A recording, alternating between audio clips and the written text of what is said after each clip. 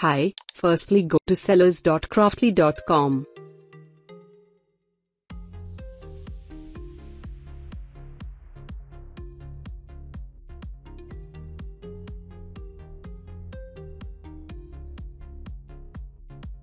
Now, log in using your username and password.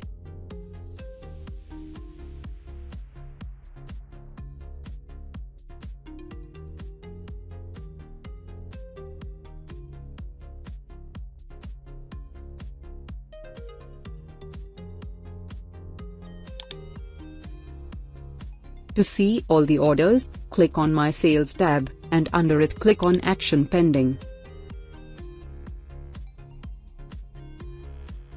Here you will see all the active orders.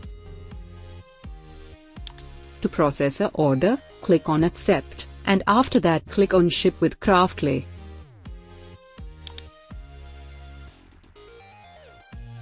Here, click on Print Shipping Label and Invoice.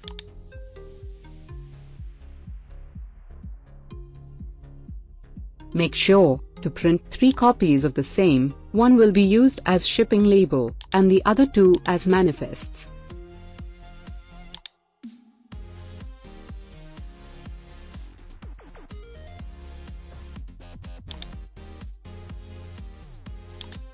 Now, go to track orders.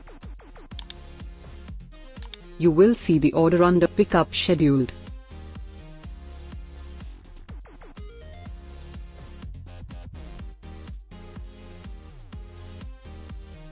With this, the order processing is completed.